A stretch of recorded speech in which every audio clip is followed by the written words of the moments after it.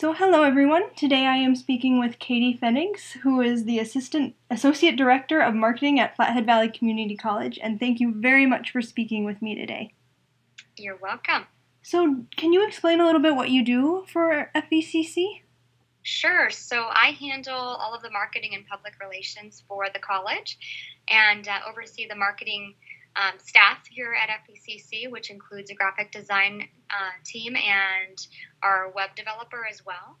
And uh, and we do so anything that happens with communication, basically internal or external, whether it's advertising or creating promotional materials, um, online advertising, social media, um, press releases that got to the to the press and working with the media to get stories about, about out about what the college is doing. Um, that all comes through my office. Nice. All right, so I'm going to jump right into the questions here, and the first one is: What do you see as the future of consumer behavior for education? Um, regarding how people will be edu- will be receiving education. Mm-hmm. Um, you know, we look a lot at that here.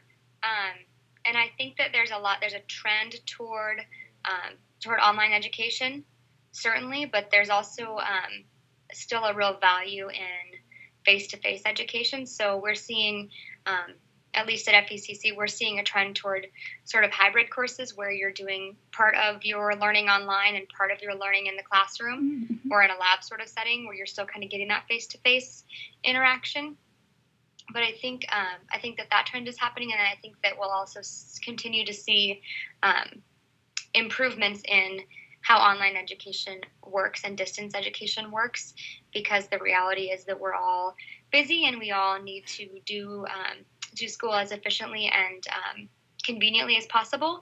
So I think we'll continue to see a lot of improvements in how online education is served up and uh, and possibly how we can work to make it more like a face to face experience.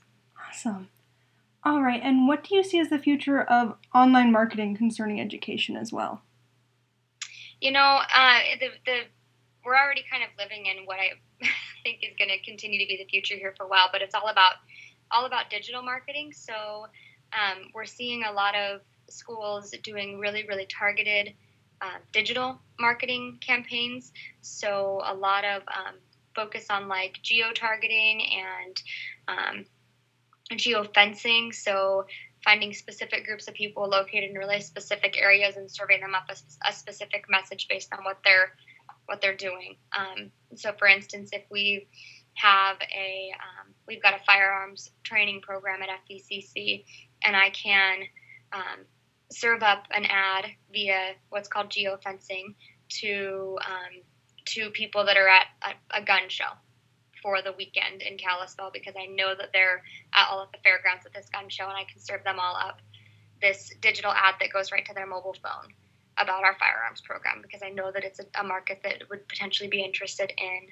um, in our firearms program. So so that's what I see. I see a lot of, of really targeted, a lot of um, a lot of digital, a lot of mobile, um, but more more targeted efforts in those in those arenas being sort of the future of marketing education. Awesome. All right, last question. What advice would you give to a graduating marketing student? Um, make sure that you're really up on on the digital stuff, um, and and that you that you really understand the, all of those those terms and those um, those techniques.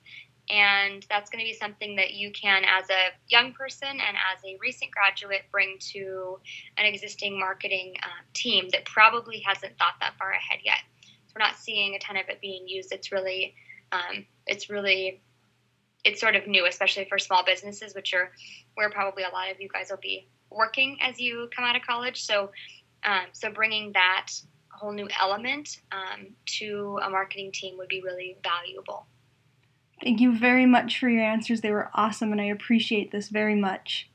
no problem Have a wonderful day, and I'll see you soon. you got it Bye. bye